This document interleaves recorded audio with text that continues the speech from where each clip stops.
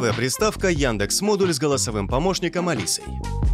Сегодня на обзоре телевизионная приставка Яндекс Модуль. Комплект поставки включает в себя сам модуль, пульт дистанционного управления, адаптер питания, кабель USB Type-C, короткий HDMI провод для подключения к телевизору и инструкцию по подключению, а также год подписки Яндекс Плюс в подарок. Приставка выполнена в минималистичном дизайне. Внешне напоминает Powerbank. Корпус по бокам гладкий, а фронтальная и задняя поверхности оформлены матовым пластиком с логотипом Яндекса и Алисы. На нижней части устройства расположен разъем Type-C для питания и сетевой индикатор. На верхней HDMI вход. Приставкой очень просто управлять с помощью пульта управления со встроенным микрофоном. Достаточно нажать кнопку Алисы, и телевизор будет слушаться вашего голоса. Пульт также оснащен подсветкой, которая опоясывает круглую кнопку джойстик. Цвет подсветки меняется в зависимости от текущего статуса и задач. Фиолетовый цвет означает, что Алиса слушает вас. Синий – пульт в режиме настройки. Желто-зеленый – модуль ищет пульт. А красный мигающий означает, что подключение пульта к модулю не удалось. Подключение модуля простое. ТВ-приставку следует подключить к розетке при помощи адаптера и Type-C кабеля, который, к слову, достаточно длинный – 1,8 метров. Далее необходимо подключить Яндекс модуль к телевизору при помощи HDMI кабеля, а также установить подключение к интернету. Яндекс модуль позволит не только смотреть фильмы и сериалы в 4К и Dolby Vision на флагманских телевизорах, но и может превратить обычный телевизор в умный и добавить в него Smart TV с Алисой. А также модуль работает в тандеме с колонкой Яндекса. Можно будет отложить пульт и просто говорить с Алисой. Алиса также поможет может найти пульт, если он потерялся, подав звуковой сигнал для быстрого поиска. Подведем итог.